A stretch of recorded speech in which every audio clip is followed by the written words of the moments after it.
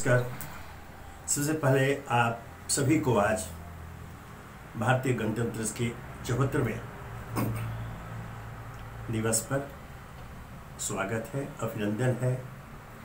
ढेरों शुभकामनाएँ और बधाइयाँ। मित्रों, आज पूरा देश जब गणतंत्र दिवस कोई त्योहार के रूप में मनाते हुए उल्लास प्रकट कर रहा है विभिन्न कार्यक्रम हो रहे हैं। हमारी उपलब्धियों की गाथाएँ गाई जा रही हैं। भारत जिस प्रकार विकास के मार्ग पर बढ़ता हुआ आज विश्व गुरु के पद पर आसीन होने को तत्पर है। उस आलोक में आज के गणतंत्र दिवस का कुछ महत्व और बढ़ जाता है। भारत लोकतंत्र की जननी है। भारत ने एक सभ्यता का जो मार्ग पूरे विश्व का दिखाया, आज उस पर पूरा विश्व चल रहा है। और कोई आश्चर्य नहीं कि आज हम अपनी उपलब्धियों के द्वारा उस मुकाम पर पहुँच चुके हैं, जहाँ से हम पूरे संसार में अपनी सफलता का पताका लहराने में सफल है लेकिन मैं इस अवसर को उन जो, वो जो सभी बातें हैं जिसकी चर्चा हुई और हो रही हैं, भाषणों और लेखों से अलग कर उपलब्धियाँ अपनी जगह है, हमारे लक्ष्य अपनी जगह है, विकास सब कर रहे हैं, कोई शक नहीं है। लेकिन हम उस तथ्य की ओर दृष्टिपात करें और चिंतन मनन करें, जिसको कल हमारे माननीय राष्ट्रपति द्रौपदी मुर्मू ने चिन्हित किया। उन्होंने भी उपलब्धियों की चर्चा करती तो की, लेकिन अपने राष्ट्र संबोधन में यह बताना नहीं भूली कि भारत आज भी महात्मा गांधी के आदर्शों को पूर्णतः प्राप्त करने में सफल नहीं हो पाया। उनके शब्द ज़रूर अलग हैं, लेकिन जरा गौर करें, वो क्या कहते हैं? गांधी के सर्वोदय के आदर्शों को प्राप्त करना अभी बाकी है। और विश्व की सबसे पुरानी जीवन सभ्यता के रूप में स्थापित भारत क्या सचमुच? उन लक्ष्यों को प्राप्त कर चुका है, जिसकी कल्पना हमारे आज़ादी के बहादुरों ने की थी, जो कुर्बानियाँ दी थी, और हमने जो आज़ादी प्राप्त की। आज हम आज़ादी के स्वर्ण जयंती, स्वर्ण काल से गुजर रहे हैं। यह तो खुशी की बात है, प्रशंसा की बात है, उल्लास की बात है, लेकिन जमीनी स्तर पर जो एक हकीकत है, जो इसकी ओर इशारा कल हमारी राष्ट्रपति महोदया ने किया, उस पर विचार करें। ये बात सही है। गांधी के सर्वोदय के आदर्शों के मार्ग पर चलते हुए जो हमने कल्पना की थी कि अंतिम पंक्ति का अंतिम व्यक्ति तक हमारी सारी योजनाओं का लाभ मिलेगा। उसके उत्थान की बात की जाएगी।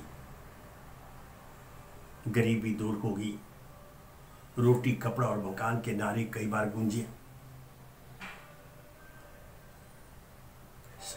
शिक्षित बेरोजगारों के लिए रोज़गार और अन्य जो सभी बेरोजगार हैं, उनके लिए रोज़गार की बातें की गई। विज्ञान के क्षेत्र में हमारी महान उपलब्धियाँ वैश्विक स्तर पर चिन्हित हो चुकी हैं। शिक्षा के क्षेत्र में भी हमने उपलब्धियों के अंबार लगाए हैं। बावजूद इसके एक सवाल बार बार उमड़ता है, दिल को पीड़ा पहुँचती है। हम चिंतन मनन को बाध्य हो जाते हैं कि बावजूद इन सभी उपलब्धियों के आज पचहत्तर साल बाद भी सरकार को यह दावा क्यों करना पड़ता है कि हमने करोड़ों लोगों को मुफ़्त में भोजन कराया? यह बहुत ही पीड़ादायक खबर है, यह कोई उल्लास वाली खबर नहीं है। आपने भोजन कराया, अच्छी बात है, लेकिन ऐसी स्थिति क्यों बरकरार है? आज भी हमारे देश में करोड़ों लोग भूखे क्यों रह रहे हैं? सवाल यह है। आज भी शिक्षित बेरोजगारों की बड़ी फौज फौज खड़ी है। आज भी हमारी योजनाओं का लाभ जिस पंक्ति के अंतिम व्यक्ति की बात की जा रही है, वहाँ नहीं पहुँच पा रही। यह एक कड़वा सच है, यह कड़वा सच है और जो मौजूद है, जो हमें व्यतीत करता है, हमें सोचने पर मजबूर करता है कि हमसे चूक कहाँ हुई है। आज गणतंत्र दिवस के अवसर पर एक निष्पक्ष चिंतन करें और देर सही सही आज हम संकल्प लें और हमसे अर्थ मतलब है, चूँकि इन सबों को निपटारा सरकारी स्तर पर करना है, सरकार संकल्प ले। औपचारिक भाषणों, प्रशंसाओं, उपलब्धियों की चर्चा को छोड़ दें। आप वो करें, लेकिन उससे इतर उन करोड़ों गरीबों, उन करोड़ों बेसहारा लोगों के विषय में सोचें, जो भारत के सम्मानित नागरिक हैं। क्या उन्हें वह अवसर मिल रहा है, उन लाभों से उन्हें भी आगे बढ़ने का मौका मिल रहा है, जिस घोषणा बार बार सरकार करती है, या सरकारी योजनाएँ बनती हैं। नहीं होता है। व्यवहार का स्तर पर आप जाएँगे तो नहीं होता है। ऐसा क्यों? इसमें एक और जो महत्वपूर्ण तथ्य है, वह यह कि सरकार योजनाएँ बनाती हैं। क्रियान्वयन के दिशा में उनकी कई एजेंसियाँ हैं। वो उन्हें क्रियान्वित करती हैं, लेकिन अगर उसका अपेक्षित लाभ वंचितों को नहीं मिल पा रहा है तो उसका सबसे बड़ा कारण है सामाजिक भागीदारी का अभाव। ध्यान रखें, सरकार अपना काम करेगी, सरकार योजनाएँ बनाएगी, सरकार राशि उपलब्ध कराएगी, लेकिन समाज में मौजूद अन्य लोगों की भी ज़िम्मेदारी होती कि वह सुनिश्चित करें कि उस उन योजनाओं का लाभ, उन कल्याणकारी योजनाओं का लाभ आम जनता को, वंचितों को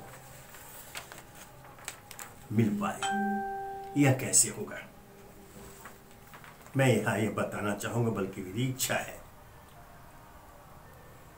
हम गणतंत्र दिवस के अवसर पर घर घर में झंडा फहराने की बात करते पिछले स्वतंत्रता दिवस के अवसर पर प्रत्येक घर में तिरंगा लहराया गया था। हमारे प्रधानमंत्री नरेंद्र मोदी का आह्वान था, उन्होंने आह्वान किया था कि घर घर में तिरंगा, लोगों ने आगे बढ़कर तिरंगा लहराया। तो आज गणतंत्र दिवस के दिन, जिस दिन हमने अपने लिए संविधान को स्वीकार किया था, जिस संविधान के अंतर्गत आज़ाद भारत आगे कदम डाल कर रहा है, जिस संविधान ने आम नागरिकों को उनके अधिकार दिए हैं, उनकी चर्चा की गई है, जो संविधान रोटी, कपड़ा और मकान की गारंटी देता है जो संविधान समानता के आधार पर सभी को उचित अवसर देने के प्रण करता है। वह संविधान, वह पवित्र संविधान जिसे बार बार कहा गया कि वह हमारे लिए गीता सदृश पवित्र है। तो वह संविधान जिस प्रकार घर घर में तिरंगा पिछले स्वतंत्रता दिवस को अपनाया गया तो उस संविधान की एक एक प्रति प्रत्येक घर में क्यों नहीं है? यह सरकार को सुनिश्चित करना चाहिए कि प्रत्येक नागरिक के घर में संविधान की एक प्रति मौजूद रहे, ताकि वह संविधान का अध्ययन कर, न केवल अपने अधिकारों की जानकारी ले सके, बल्कि अपने कर्तव्य, अपने दायित्व अपनी ज़िम्मेदारी से भी परिचित हो सके। उस पर भाषण होते हैं, लेख छपते हैं। स्वतंत्रता दिवस, गणतंत्र दिवस पर भाषणों का अंबार सामने आता है। नेता अभिनेता सामने आते हैं, गुणगान करते हैं। लेकिन यह एक सच्चाई है कि आज भी भारत का वह वंचित वर्ग जिसके नाम पर वोट की राजनीति की जाती है। जिसे लुभाने के लिए अनेक वादे किए जाते हैं, योजनाएँ बनती हैं। जिनके घर पर, जिनके द्वार पर रोटी पहुँचाने की बात की जाती है, दावे किए जाते हैं। वह वर्ग आज भी अपने अधिकारों से अपरिचित है। अपनी जिम्मेदारियों से भी अपरिचित है, चूँकि वह सिर्फ़ एक पवित्र ग्रंथ की तरह संविधान को जानता है, लेकिन उसे वह पढ़ता नहीं है, उसे पढ़ाया नहीं जाता है। इसलिए यह मैं समझता हूँ, इस पर भारत सरकार या अन्य जो संबंधित संस्थाएँ हैं, इस पर गौर करें, चिंतन करें और यह सुनिश्चित करें कि प्रत्येक घर में भारत के प्रत्येक नागरिक को संविधान की एक प्रति उपलब्ध कराई जाएगी। उससे क्या होगा? वह परिवार, उसके अभिभावक अपने बच्चों को भी संविधान की जानकारी दे पाएँगे। जिस प्रकार घर घर में गीता रखने की बात की जाती है, पवित्र गीता की चर्चा की जाती है, उसी प्रकार अगर हम अपने संविधान को पवित्र गीता के समान मानते हैं, उसके सब कुछ मानते हैं तो फिर संविधान की प्रति भी घर घर में हो यह ज़िम्मेदारी भारत सरकार की है। और यह यह अनोखा प्रयोग होगा।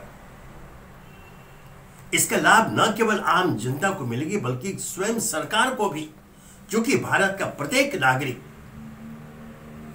देश, समाज के प्रति अपनी संवैधानिक जिम्मेदारियों की जानकारी से भी परिचित हो पाएगा और उस दिशा में वह निश्चय ही आगे बढ़ेगा। यह हमारी सभ्यता है, यह हमारी संस्कृति है। विश्व के सबसे बड़े लोकतंत्र, भारत में इसकी शुरुआत होनी चाहिए। मैं पुनः आग्रह करूँगा भारत सरकार से संबंधित एजेंसियों से कि इस दिशा में कदम उठाए, सकारात्मक कदम उठाए और कम से कम अगले गणतंत्र दिवस के पूर्व या उसके पूर्व स्वतंत्रता दिवस के पूर्व ही संविधान के एक प्रति, एक एक प्रति प्रत्येक घर में पहुँचा दी जाए।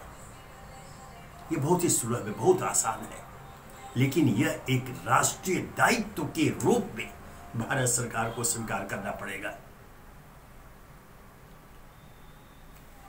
और इसके बाद फिर आने वाले दिनों में हम विश्लेषण कर पाएँगे कि हमें संविधान प्रदत्त अधिकार मिले या नहीं मिले, या भारत का नागरिक, देश समाज के प्रति अपनी संवैधानिक ज़िम्मेदारी निभा रहा है या नहीं निभा रहा है।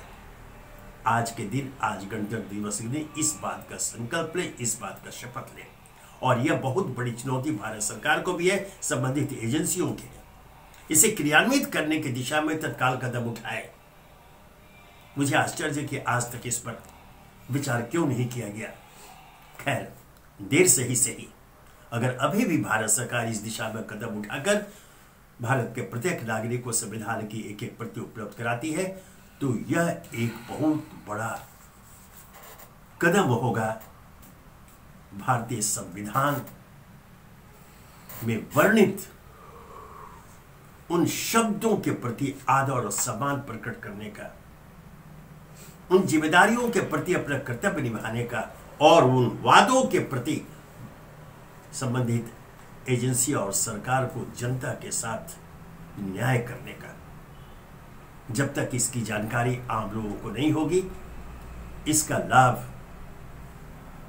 सत्ता से जुड़े लोगों का एक वर्ग उठाता रहेगा और क्षमा करेंगे। ऐसा ही होता आया है। बातें बड़ी बड़ी होती नहीं बड़े बड़े भाषण बड़े बड़े लेख जनता के बीच आते रहे भारतीय संविधान। आज़ाद भारत, स्वतंत्र भारत, गणतांत्रिक भारत के। लेकिन, जैसा मैंने कहा कि महात्मा गांधी के सर्वोदय के आदर्शों की, को प्राप्त करने की दिशा में कदम उठाना ज़रूरी है। हमारी माननीय राष्ट्रपति द्रौपदी मुर्मू ने भी इस बात को चिन्हित किया कल अपने राष्ट्र नाम संबोधन में गरीब वंचित वर्ग के विषय में सोचा जाना ज़रूरी है। क्योंकि उन कड़वे तथ्यों को सामने रख करके कार्यक्रम बनाने होंगे और क्रियान्वित करना होगा, जो हमें बार बार व्यथित करती है और पीड़ा देती है हृदय में। भारत आगे बढ़ा, भारत बहुत आगे बढ़ा। आज विश्व का सबसे अमीर व्यक्ति भी भारत से है, लेकिन उसके साथ ही यह भी कड़वा सच है कि विश्व का सर्वाधिक गरीब व्यक्ति भी इसी भारत में मौजूद है। यह विरोधाभास क्यों? तो यह जो आरोप लगते रहते हैं कि हम प्रगति तो कर रहे हैं, लेकिन हमारी सारी योजनाओं का लाभ एक सीमित, छोटे वर्ग को मिलता है, विशाल, वंचित वर्ग को नहीं। यह आरोप पिछली सरकारों पर भी लगे, वर्तमान सरकार पर भी लग रहे हैं। ऐसा नहीं होना चाहिए। इससे पता लगता है कि कहीं ना कहीं शासकीय स्तर पर जनहित में तैयार योजनाओं के क्रियान्वयन के प्रति लापरवाही बरती जा रही है। या उसमें भ्रष्टाचार का प्रवेश हो चुका है। उस पर अंकुश ज़रूरी है। फिर यह दोहराते हुए कि देर से ही से ही हम इस प्रकार के कदम उठाएँ कि हमारे जो करोड़ों वंचित लोग हैं जिन्हें मुक्त भोजन पहुँचाने